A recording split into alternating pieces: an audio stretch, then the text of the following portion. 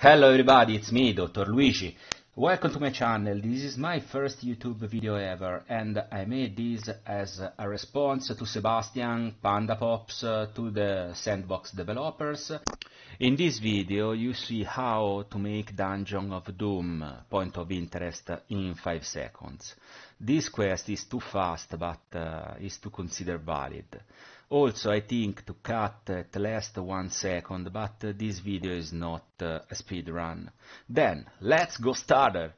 Today is the October 21 some mission starts uh, as soon as you start the map. Well, uh, then they are not needed. Don't pay attention to them. Let's look uh, where we need to go before starting the quest.